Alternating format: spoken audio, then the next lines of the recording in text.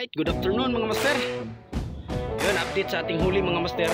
Ito na yung huli natin. Baby fish.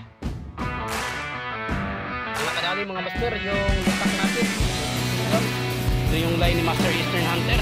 Grabe, yung TLB to. Ang gamit natin, kapong E32.